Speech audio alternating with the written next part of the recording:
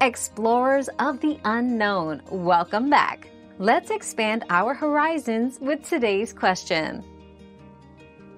Jay Pritchett, portrayed by Ed O'Neill in Modern Family, is depicted as being wealthy.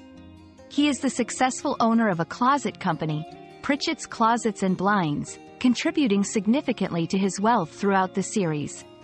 This financial success affords him a luxurious lifestyle. Our quest for knowledge never ends. Thanks for being part of today's discovery. Subscribe, like, and share to join us on the next one.